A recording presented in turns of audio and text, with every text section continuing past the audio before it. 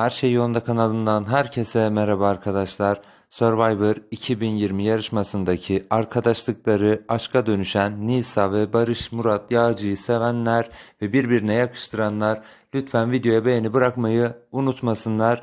Barış Murat Yağcı ve Nisa Bölükbaşı maalesef ayrıldı. Haberin ayrıntılarına geçmeden önce en güncel haberleri ilk kanalımızdan öğrenmek için lütfen kanala abone olmayı ve bildirimleri açmayı unutmayın.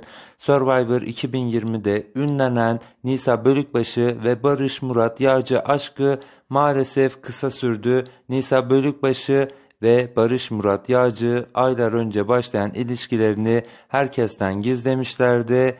Maalesef Nisa Bölükbaşı Barış ile olan ilişkimizi noktaladık. Kendisine hayatta başarılar diliyorum mesajıyla ilişkilerinin bittiğini açıkladı.